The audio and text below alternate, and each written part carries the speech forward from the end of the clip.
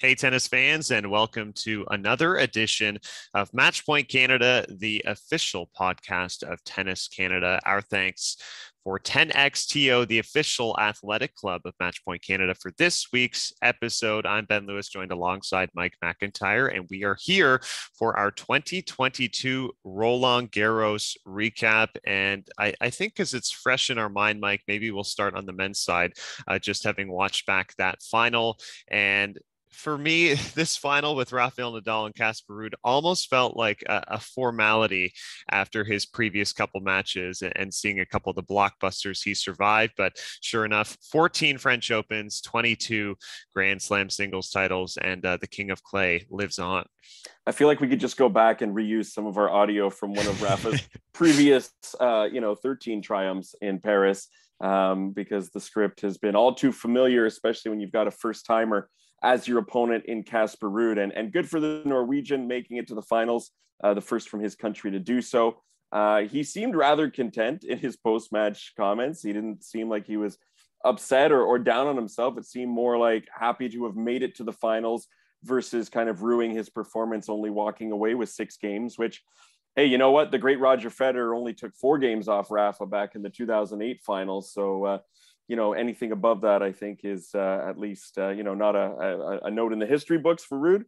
But uh, it went according to script. It went according to the way we thought. And other than maybe at the start of the second set where it looked like Ruud was going to sort of put together something and, and broke early there uh, it mm-hmm. was really rafa all the way yeah, six three, six three, six love, and as you said, Ruud had a brief glimpse of hope there, early second set, ahead three one, and then uh, Rafael Nadal steamrolls the next uh, eleven service games, and I felt like he particularly raised his level in the thir- third set, just a phenomenal level of tennis, and and we know, I think when Rafa gets to the stage, this is something we talked about. If you're going to beat him at Roland Garros, which is already basically the toughest ask in this sport, right?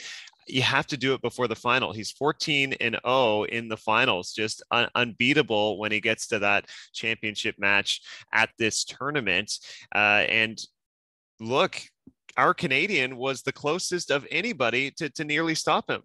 I was thinking about that. I meant to, to send sort of a, a shout out tweet to, to Felix Auger-Aliassime. Didn't get around to it, but he was the one that pushed him the furthest between, uh, and he had a look. Rafa did not have an easy way to this this final uh, all the top 10 guys he had to beat and uh, and certainly Djokovic, which he did in four sets. But for Felix to be the one that that pushed him to a fifth, um, and we've had some moments this year where we're like, wow, Felix is looking like a real, you know, permanent top 10 kind of guy. Looks like he could keep it going. Uh, maybe that success at a slam is, is coming sooner rather than later. There have been moments with Felix this year as well where he's kind of gone dormant. So uh, this is just an encouraging sign to wrap up the, the clay court swing for him and something that he can really hold his head up high and, and be proud of the fact that, yeah, uh, of anyone on Rafa's quest for number 14 in Paris and number 22 overall, Felix gave him the hardest time.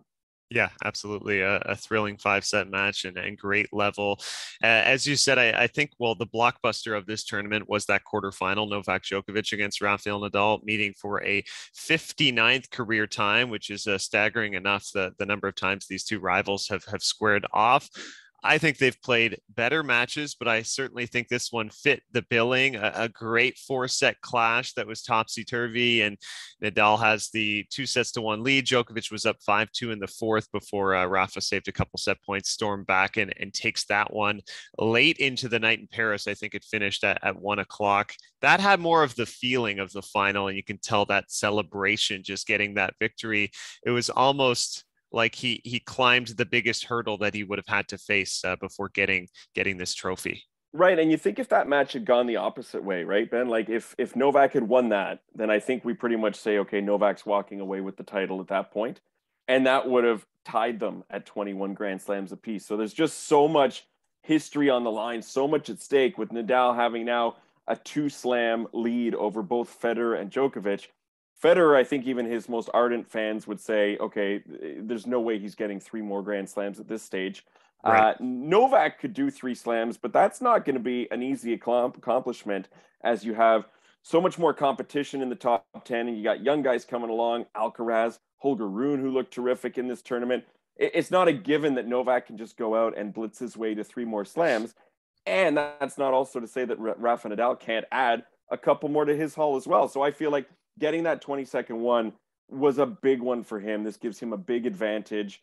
And uh, even though I take into account many things in my, you know, greatest of all time, boy, Rafa's, uh, you know, pretty hard to argue against him right now with with what he continues to be able to do.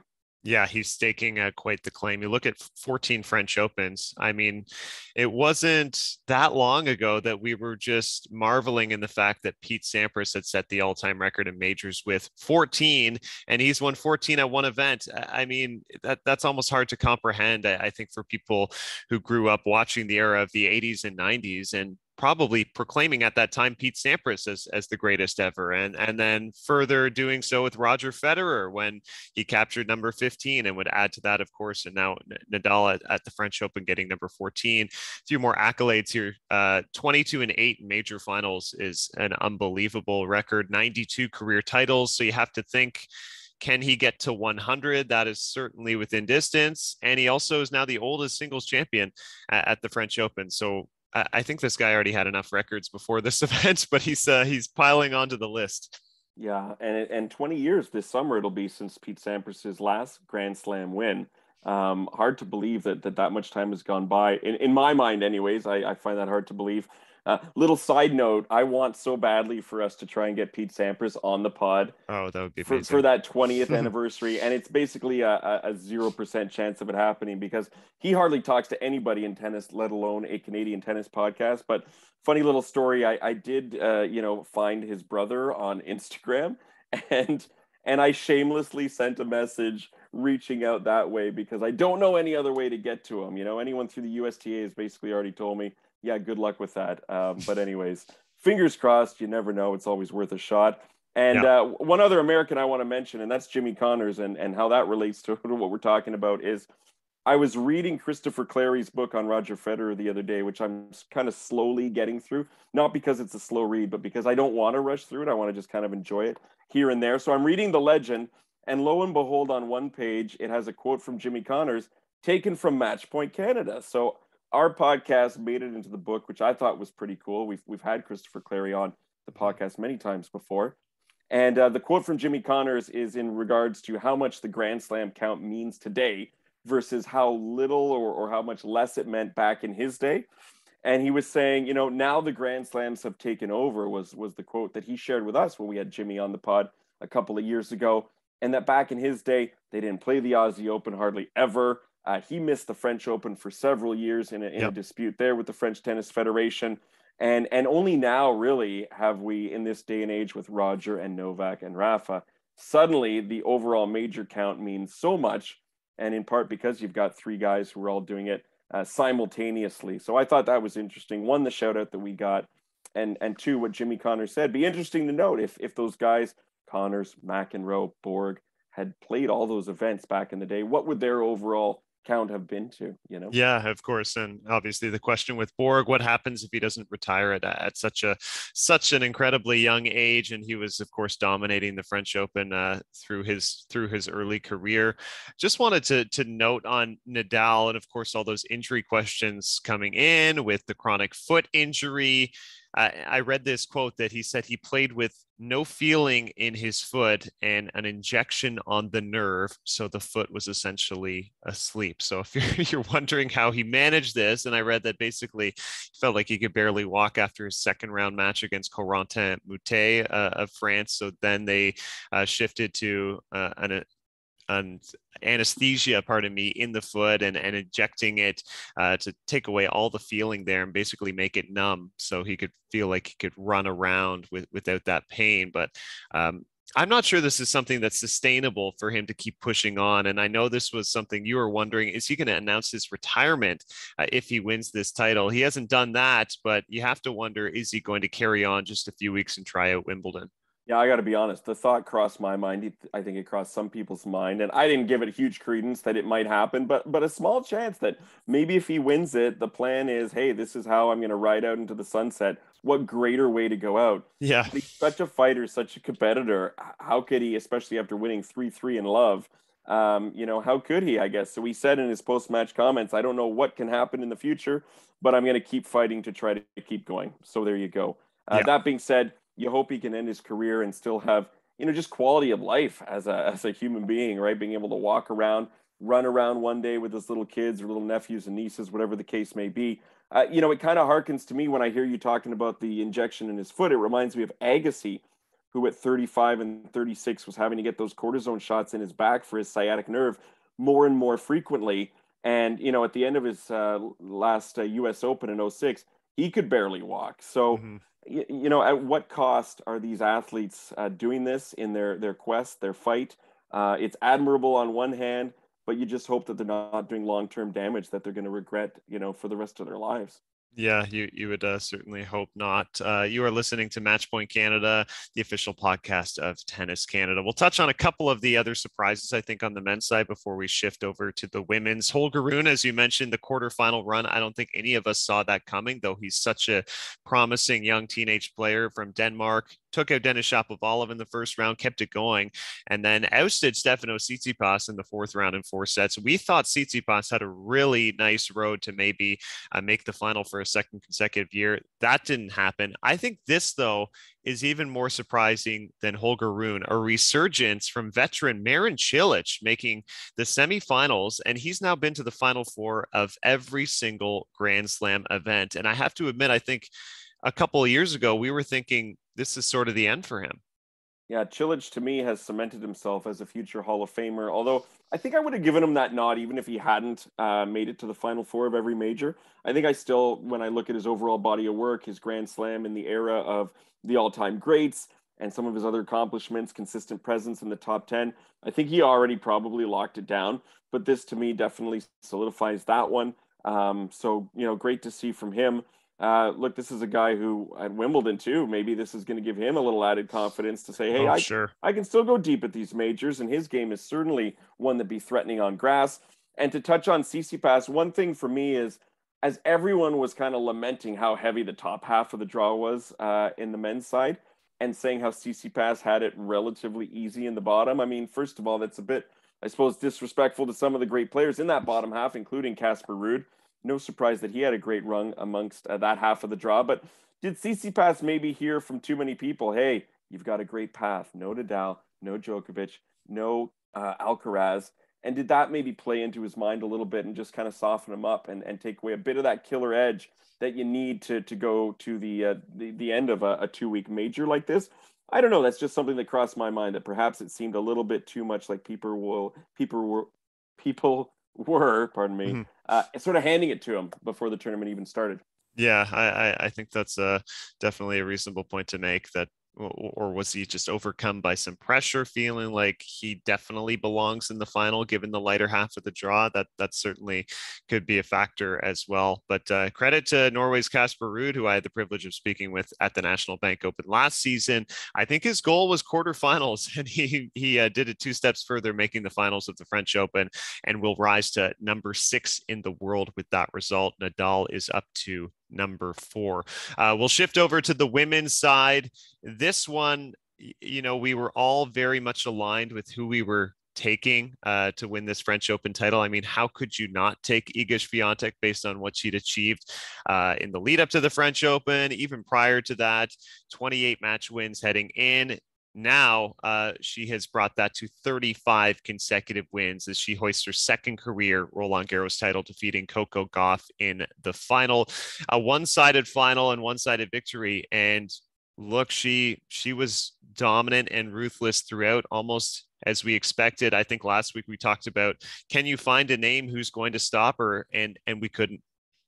Yes, Swiatek totally believing in herself, total confidence you know, she mentioned she's gone from playing a more passive game to on purpose playing a more aggressive style. Coco Gauff mentioned that boy, she was just being attacked from everywhere on the court by by Swiatek, and uh, you know, who's going to take her down at some point? She's bound to to lose a match. Who's going to be able to do it? I don't feel like anyone on the women's tour right now feels that they're able to do that the way she's playing. Even when she lost that set in the what was it, the fourth round to to Zhang there in a tiebreak she mm-hmm. then blitzed her 6 love and 6 2 to close that one out. So um, just playing remarkable tennis uh, in the aftermath of, of Ash Barty's retirement, uh, proving to be a very deserving number one. And ties Venus Williams, as I think you mentioned, with that 35th straight win, which is the most in the 21st century. So the most in the last 22 years on the women's side in terms of consecutive victories. But then when you compare it to all time greatest women's win streaks, it's nothing. It's just a drop in the bucket because Martina Navratilova has the all-time record at 74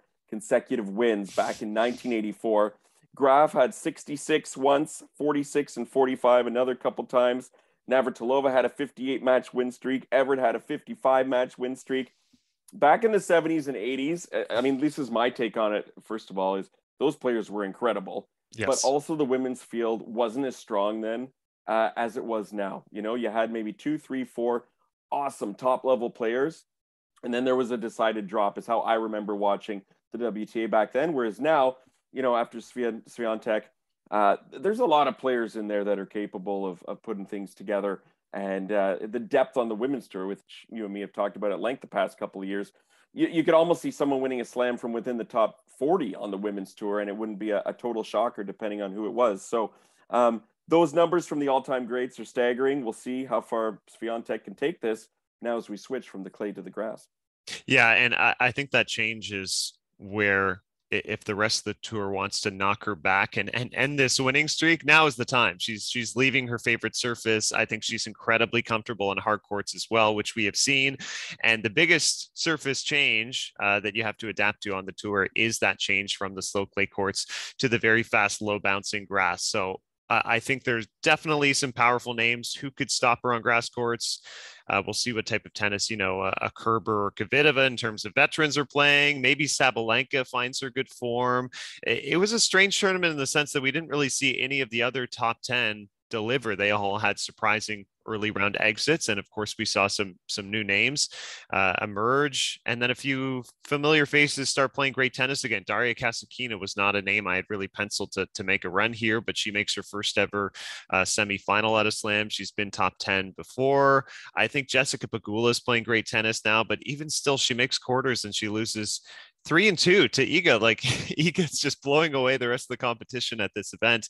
And then just to shift over to the Canadian angle, I think Leylah Annie Fernandez played a remarkably strong tournament. You look at that win she produced over Belinda Bencic. I thought that was fantastic. And we saw such uh, her victory over Anisimova as well in the fourth round. I thought that was one of the best matches of the tournament. And uh, unfortunately, I, I, think an injury flare up really cost her in this quarters against surprise Italian Martina Trevisan, who she still pushed to three sets, but but we learned, and you could tell if you were watching that there was an issue with the foot, uh, and she revealed a stress fracture a- after that loss. So that was unfortunate of a of a setback, really, and a missed opportunity to maybe make a semifinal or even final here. Yeah, you and I were maybe getting a bit ahead of ourselves a week ago. We were getting so excited by the prospect yeah. of Fernandez in the semis and facing Coco Gauff. That would have mm-hmm. been such an awesome match. No disrespect to Trevisan, you know, making her first semi, pretty awesome for her and her family and team. Uh, but for Leylah Annie, uh, you know, we we kind of I don't want to say we forgot about, but just a reminder that you never know when injury is going to strike. Same with Zverev on the men's side. Something like that can happen in tennis at any point in time. These athletes are pushing themselves so hard on the court. And uh, unfortunately for Fernandez, that I, I feel is, is what kind of did her in. Not to say she would have beat Iga in the final, but uh, I, I would have really enjoyed that semi against Coco. Would have loved to have seen her make another slam final. She won Roland Garros three years ago at the junior circuit, at yep. the junior level in 2019. And now, unfortunately, this is going to keep her out of Wimbledon as well. So hopefully she can get healthy for the, the hard court swing. Um, you know, the National Bank Open's not not that far away. We're talking about what two and a half months from now, not even just over two months from now. We're gonna have the world's best here in Toronto, the women and the men in Montreal, and uh, of course, we want to see all of our Canadians healthy and ready to go, and that includes Leylah Annie Fernandez. Gosh, maybe we can see Genie Bouchard back. Am I getting greedy by saying I'd love to see Milos back as well? I mean, can we just have them all in action at once? That would be fantastic. Um, so a couple more months to see what what happens in, in that regard. But uh, no Leylah Annie on grass at Wimbledon, unfortunately. Um, but we do have a host of other Canadian names that I think could put themselves in contention on the uh, the lawns of Wimbledon. Yeah, no, no doubt. Um, and I should say, Jorge Fernandez uh, had an interview with Mark Masters of TSN after that Leylah loss, and uh, he looked a bit emotional and distraught, just not only by the outcome, but by the fact that he has to sort of sit back in the stands and, and watch from afar and, and can't sort of bring any advice to the table of Leylah, maybe you should stop. I think he had a great fear of her uh, further injuring uh, and worsening the foot, and that she did play this three setter uh, when she was clearly injured. And I, I, hope it didn't cause more problems with the foot. It's really incredible to me that she won that second set 7 6. Like she was injured at that time and, and started. Took, yeah, and she took that tie break. Like that, her tie break was hers. Hey, like that. Oh yeah, seven three. Yep, yep. And she started just redlining and cracking winners everywhere. I was thinking, oh my goodness, is she going to pull this off with, uh, you know, fracturing her foot? Obviously, we didn't know the the injury to her foot at that time, but uh, tremendous effort, really pushing Trevisan to, to earn that victory in that quarter. So I, I, hope the recovery is not too long. As you mentioned, she will miss Wimbledon. Certainly hopeful she'll be back in Toronto for the National Bank Open. Um, just one or two other storylines. Sloane Stevens, great to see her play so well again. I think we mentioned that last week, but making a quarterfinal here she plays really well on the hard courts in North America, as we know, of course, winning the US Open. We've seen her play well, I think, in Montreal too. I'd love to see her at the National Bank Open uh, win some matches. That would be great to see. Yeah, me as well. And, and Sloane feels so comfortable in Toronto. It's kind of been like a home away from home because her partner Jozy Altidore, the uh, yep. soccer player, uh, based in Toronto. I don't I don't think he's still playing for the Toronto team, is he? But uh, um, I don't he was for quite some time, so. and so yeah. she was in town a lot. Actually, she'd be on the the courts at Hotel X 10XTO just to drop that plug one more time. Mm-hmm. Um, staying there and, and practicing there. Uh, and and Sloane Stevens to me, aside from you know loving to watch her game when she's really uh, hitting her stride, she's great in press. She's so much fun in press conferences, so laid back, so willing to engage. Um, she had a good run in Toronto a couple summers ago, a few summers ago, and was just wonderful in press and really, um, you know, one of my favorites to talk to. So hopefully she's back and in a good mood. And um, hey, look, to wrap up Roland Garros, why don't we kind of reflect on some picks that you and I made for Tennis Canada, where they they they call these these so-called expert picks. Look, I didn't pick that title, okay, but anyways, they threw us in the mix there. Uh, where did you go right? Where did you go wrong? And how do you feel overall about the picks you made this year? I, I, honestly have to say I feel pretty good about these picks um, to successfully pick both the men's and women's champion. And look, everybody I think was on board with the Iga train, and how could you not be? As I said, so that one is is nothing to brag about. Uh, but but I was not that I was confident, but I picked uh, Rafael Nadal to win this title by virtue of his his storied record at Roland Garros. I just don't steer away from him at this tournament. And a lot of people had had their doubts that he could pull this off again. And once he picked up that win over Djokovic, um, I think the writing was on the wall that he was going to do this. So I got that correct. And then have to give myself a pat on the back for picking Coco Gauff as my dark horse and seeing her make the semifinals. I think she plays great tennis on clay. She can play great on all surfaces. Uh, so I was right on the money there. My Canadian picks were not strong. I felt like Bianca had been playing well, loses to Bencic in the second round. And then I think the pick of Denis Shapovalov was a mistake. I saw him on the bottom half of the draw, thinking he could go on a run, runs into Holger in the first round, plays pretty poorly, and uh, exits. So there you go. Yeah, when I'm looking between the six of us that they asked for this, everybody picks Swiatek, so that was no surprise. The men's winners were split between Djokovic Nadal. I was the only one. Actually, were two of us who went with Alcaraz. I mean, I feel like any of those picks, you know, it's almost a coin toss there. But Nadal, I mean, you can never go wrong with with picking him. And then the best performing Canadian, I went. I was was I the only one? I was the only one that went with the Fernandez Felix Auger Aliassime combo. A lot of people were liking Bianca, but I mm-hmm. thought her draw was a little tough, especially with Bencic playing well on clay this lead in, and Bianca still finding her form. Uh, I do want to give a shout out to Mark Masters. He went with Gabby Dabrowski as the best performing Canadian, and he was right ultimately. If you include yeah. all the draws, as Gabby did make it to the semifinals in mixed doubles. Yeah, there you go. Uh, I, I should have uh, put on my doubles cap as well as, as we as we filled out those brackets. I almost uh, overlooked the doubles aspect, and uh, good for Gabby as well to bounce back. I think we had pretty high expectations for her and uh, Giuliana Olmos in women's doubles. That didn't work out; they lost in the third round. So for her to kind of bounce back immediately and mixed with uh, John Peers and, and make the semis, I, I still think that's a solid result and and Gabby's going to be the threat to go deep at any slam, right? I think that was a bit of a For blip. Sure. I don't know what quite transpired in that match. Didn't get the opportunity to watch it, but she had such a great clay court lead up. Um, and her and, and Giuliana are playing fantastically together, which is interesting because neither one of them are their usual partners.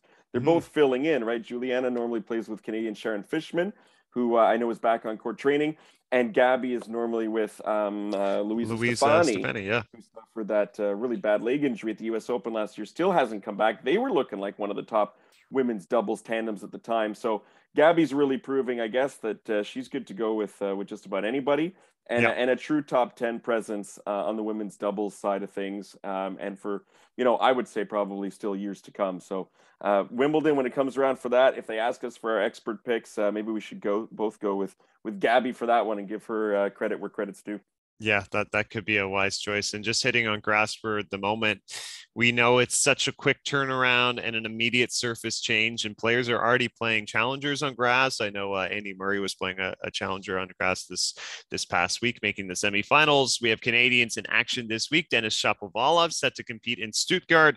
I, I sense he will very quickly want to forget about his result in Paris and uh, for me, grass might be his very best surface. We saw what he did at Wimbledon last year. Felix as well, very dangerous on the grass court surface. He's playing Hertogenbosch this week, and I believe he is the top seed there. So, um, look, no no sleep for the wicked. Uh, quick turnaround here, and we're going to be watching uh, our next surface already on the tennis calendar.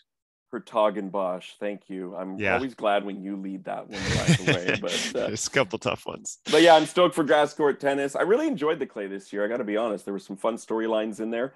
Uh, mm-hmm. Uh, and the men's side, it got a little bit more interesting too with how Alcaraz was performing. But grass court tennis for me is what uh, you know. I fell in love with the sport uh, due to grass court tennis, and so I'm stoked for the lead up. Uh, very excited for Wimbledon. Uh, gonna definitely have some time off from my day job to watch a lot of those matches. And uh, yeah, we'll be bringing you all the action throughout the lead up to Wimbledon and that fortnight. Hopefully, get some great guests for you as well. So, uh, Ben, I think for I speak for both of us when I say uh, we're we're excited for what's next. And uh, thanks for sticking with us through the the clay court swing this year. Yeah, thank you guys. We've essentially reached the halfway point uh, of the season and, and now ready for, for the next surface and next big tournaments. Guys, you've been listening to Matchpoint Canada. Our thanks to 10XTO, the official athletic club of Matchpoint Canada. We will talk to you next time.